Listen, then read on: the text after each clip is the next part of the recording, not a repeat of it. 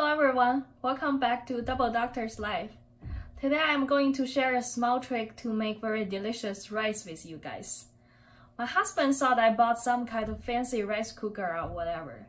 I told him the trick. He said he had never heard about that before. I guess most people haven't. So I decided to share this trick with you guys. And today I will also show you how to make cute rice balls. Let's check it out. Here's a rice cooker I use. It's a very old and cheap one. You can tell its age by looking at the bottom. There's only one function cook, nothing fancy. However, you can still make the best rice with such an old cheap rice cooker, and it's very convenient. Let's go check it out. First, rice. Today I'm going to use Asian short rice. It has a more chewy texture and becomes sweeter and sweeter as you chew it.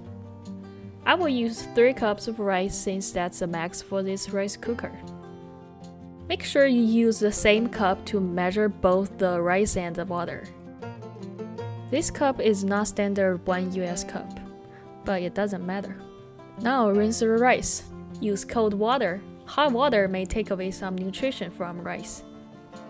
To clean the rice, you can use da-da, chopsticks. Yep, chopsticks. Use chopsticks to stir the rice a little bit.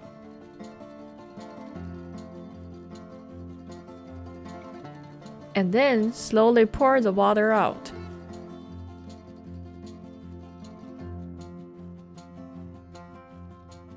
Rinse the rice a second time.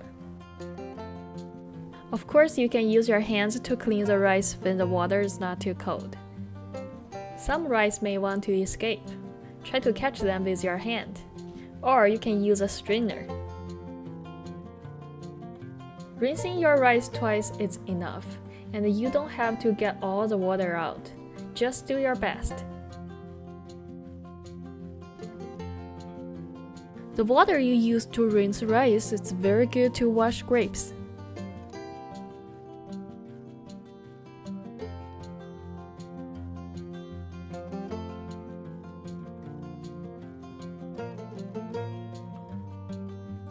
Look, it did a good job. For such kind of short rice, I like to use a 1 to 1 rice to water ratio. It really depends on your personal preference.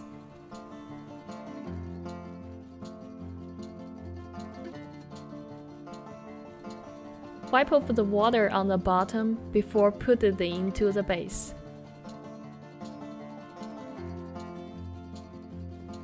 Even the rice a little bit. Here comes my trick! The tricky part is soaking the rice in water for 30 minutes. This helps each grain drink about same amount of water. This will allow the rice to be cooked more evenly and result in an amazing texture. Okay, so it's 30 minutes later and time to start cooking. There are two things you don't want to forget when cooking rice with a rice cooker. 1. Plug the power.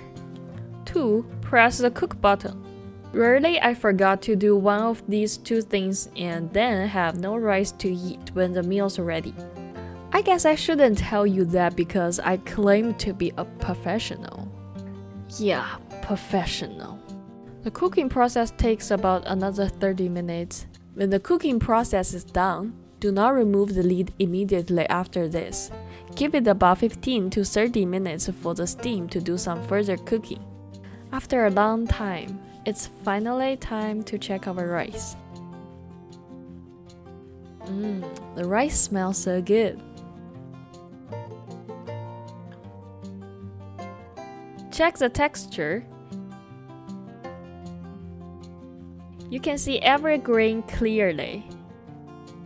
Some of my friends asked me, should they buy a fancy, expensive rice cooker to make rice? My answer is you can, but it's not necessary. Because after you learn this small trick, you can see even a cheap one can do an awesome job.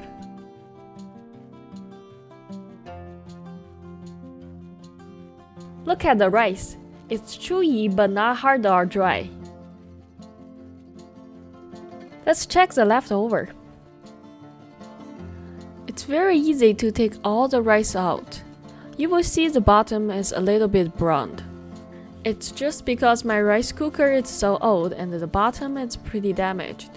Regardless, the rice still tastes very good. If the rice on the bottom is hard, just put some water in and wash it later.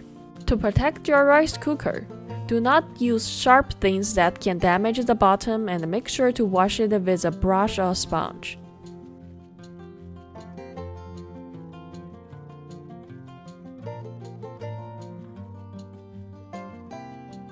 Let's make some cute rice balls with the rice we made. Take some rice, depends on how big rice ball you want to make. Put some rice seasoning in and mix them. There are a lot of different options. This one contains zero fat and it's a little bit spicy. It's perfect for my husband.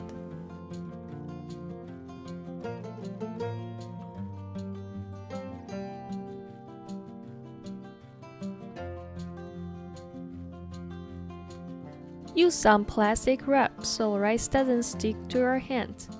I feel it works even better than gloves. Then push the rice together into a ball first and cover it with plastic wrap.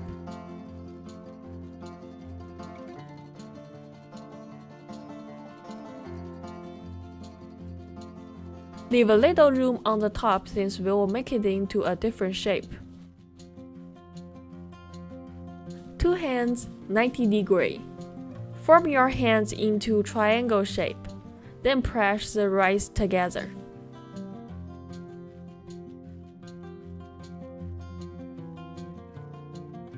I will show it once again. Two hands, 90 degree, triangle shape, press together. Rotate and press other sides. At the end, modify the surface a little bit.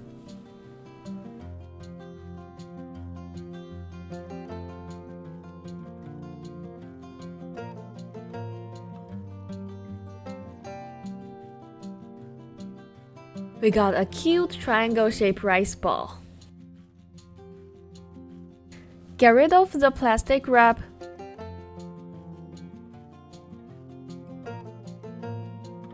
Put a small piece of roasted seaweed on it. Then we're done.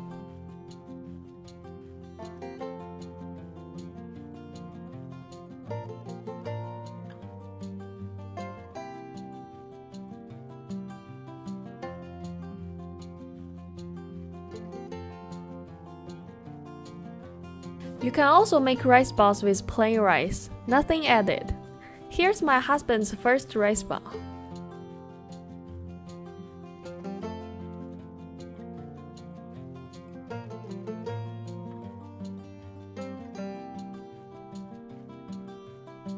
His hand is much bigger than mine, so we got a bigger rice ball.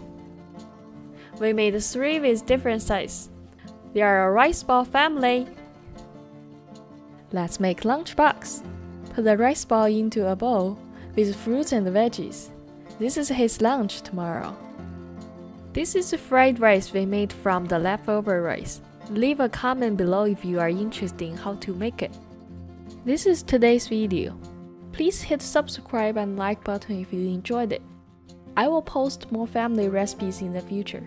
Hit the bell so you don't miss them. Thanks for watching and see you next time.